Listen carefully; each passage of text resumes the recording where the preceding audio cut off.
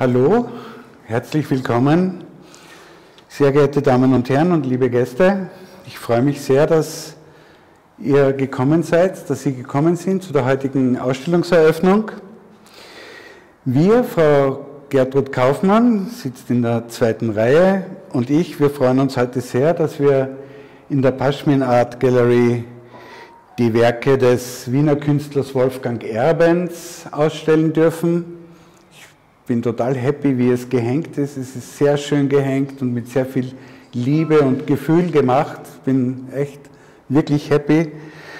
Ähm, Frau Kaufmann, Gertrud Kaufmann war jahrzehntelang die Lebensgefährtin von Wolfgang Erbens und ist als Erbin des gesamten Övres äh, unermüdlich dabei, die, die Kunst von Wolfgang Erbens zu verwalten und, und aufzuarbeiten.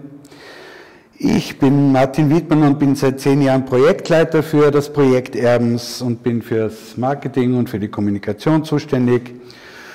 Und zusammen leiten Frau Kaufmann und ich den Verein Wolfgang Freunde Wolfgang Erbens. Er ist in Wien beheimatet und wir ja, kümmern uns um alle Angelegenheiten rund um die Kunst von Wolfgang Erbens. Das Övre von Wolfgang Erbens ist ja erstaunlich. Es sind 350 Aquarelle, 210 Ölbilder und über 700 Zeichnungen hat uns der Künstler hinterlassen. Ihr seht hier einen Teil nur davon, einen, einen Ausschnitt, einen sehr schönen Querschnitt über das ganze Schaffen von Wolfgang Erbens.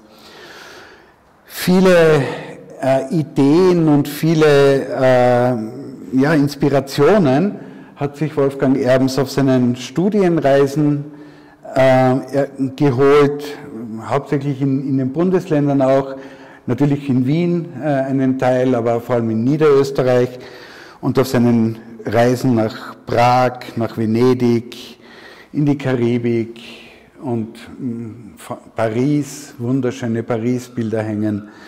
Äh, da hat er sich viel Inspiration geholt und äh, hat auch ein bisschen aus der Wiener Gesellschaft fliehen können. Gesellschaftspolitisch war er ein sehr schwieriger Mensch, Sternzeichen Fisch, so wie ich, ähm, und hatte Probleme, sich selber zu vermarkten und sich selber auch zu positionieren. Er hat mit vielen anderen Künstlern zusammengearbeitet, die dann eine einen eigenen Stil entwickelt haben und sobald er wo gesehen hat, dass sich ein Künstler in eine bestimmte Richtung entwickelt, wollte er etwas anderes machen. Hat sogar dann Werke vernichtet, äh, es sind etliche vernichtete Werke bekannt, also wir, wir haben davon gehört, äh, die eben in eine andere Richtung gegangen sind, die andere Künstler eben äh, spezifisch ausgearbeitet haben. Das wollte er nicht, er wollte etwas ganz Eigenes schaffen, einen eigenen Stil schaffen. Ich glaube, das merkt man hier auch. Äh, ganz lustig ist, wenn Sie genau schauen, äh, Sie sehen immer sehr oft zwei kleine Personen. Manchmal sieht man sie kaum, manchmal sind sie ganz, ganz klein. Da auf den Zeichnungen sieht man sie schöner. Das ist eine Art Markenzeichen von ihm. Sind fast überall zu sehen, auf den Ölbildern nicht, aber auf den Zeichnungen, auf den Aquarellen auch sieht man zwei kleine Persönchen, das ist so sein, ja, sein eigener Stil war das. Ähm, er konnte sich eben wegen seiner Art äh, gesellschaftspolitisch eben nicht wirklich positionieren in Wien und deswegen ist es nicht weiter verwunderlich, dass seine Werke am internationalen Kunstmarkt nicht bekannt sind oder kaum bekannt sind. Das sehen wir aber im Verein auch als, als Chance an, als historische Chance habe ich sogar geschrieben, diesem Künstler den Platz einzuräumen, den er unserer Meinung nach in der internationalen Kunstgeschichte auch verdient.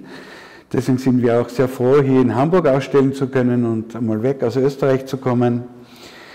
Die Kunstszene in Österreich ist speziell, ich weiß nicht, wer sie kennt, wer, wer mit österreichischen Künstlern oder mit der Kunstszene ein bisschen vertraut ist, als unangepasster, sehr sensibler und auch querdenkender Künstler hatte Wolfgang Erms Schwierigkeiten, sich am kleinen und durch Freundelwirtschaften, sagen wir in Wien, Freundelwirtschaften, zu äh, geprägten Kunstmarkt eben zu etablieren. Ähm, seine Ausstellungen waren teilweise nur mit einer persönlichen Einladung von ihm zu sehen.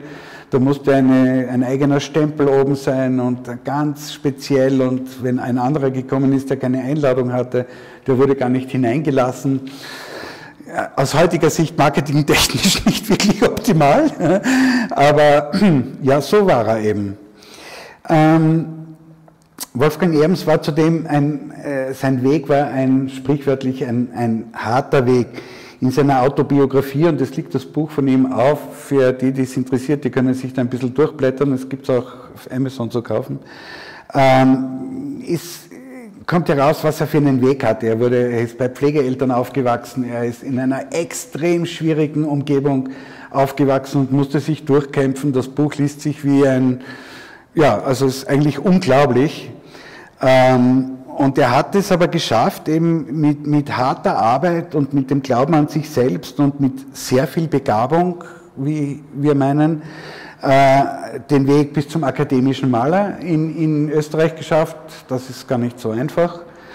Ähm, und er konnte dann auch seine Werke den damals wirklich berühmten Politikern wie dem legendären Bundeskanzler Dr. Kreisky persönlich präsentieren. Es gibt auch ein paar Werke, die hängen oder wurden damals gekauft, gell, in einer, von, von, von Bundesministerien, die hängen heute noch irgendwo, wir wissen nicht genau wo, aber das wurden damals angekauft. Und später aber doch würdigte in Österreich dann äh, sein Schaffen mit dem silbernen Ehrenkreuz der Stadt Wien. Ja, wir wollen uns heute ganz besonders bei Herrn Direktor Nuri bedanken für die Möglichkeit, hier in der Baschminat Galerie auszustellen. Wirklich ganz toll. Auch das Engagement von Ihnen und auch von der Frau Eickmeier und von Ihrem ganzen Team war wirklich toll. Das hat ja länger gedauert. Wir waren monatelang in Kontakt und haben dann zwei große alte Kisten hergeschickt. Das war auch nicht so einfach, weil die sind fast durchgebrochen unten, weil sie aus der Zeit des Künstlers stammen. Ich glaube von 1960 waren die oder 70. Die sind Gott sei Dank gut angekommen. Ähm, und wir wollen uns eben bedanken, dass wir in diesem tollen und schönen und besonderen Rahmen eben die Kunst von Erbens präsentieren können. Ja.